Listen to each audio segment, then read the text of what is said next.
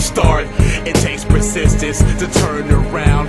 I'm going the distance, it's the 13th round. My alarm clock went off this morning. It was screaming like a siren, a two minute warning. Countdown to showdown.